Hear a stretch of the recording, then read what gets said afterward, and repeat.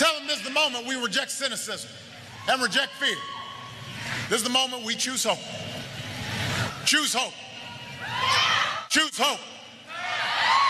Choose hope. Choose hope. Choose hope. Go.